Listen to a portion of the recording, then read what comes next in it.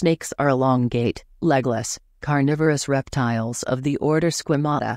Like all squamates, snakes are amniotes, distinguished by having internal fertilization and developing hard-shelled eggs. There are over 3,600 species of snakes in the world, found on every continent except Antarctica.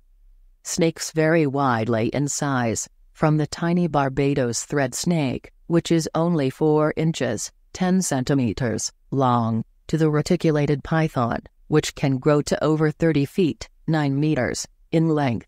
Snakes are carnivores and eat a variety of prey, including rodents, birds, reptiles, amphibians, and fish. Some snakes are venomous, but only about 20% of all snake species are considered to be dangerous to humans. Venomous snakes use their venom to subdue their prey and to defend themselves.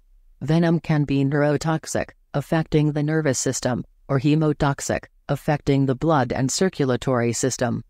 Snakes play an important role in the ecosystem by helping to control populations of rodents and other small animals. Snakes are also a food source for many other animals, such as birds, mammals, and reptiles. Here are some additional facts about snakes.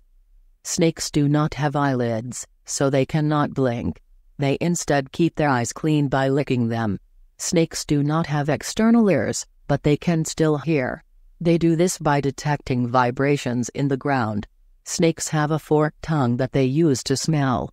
When they flick their tongue out, they are picking up scent particles from the air. Snakes lay eggs, but some species give birth to live young. Snakes shed their skin periodically as they grow.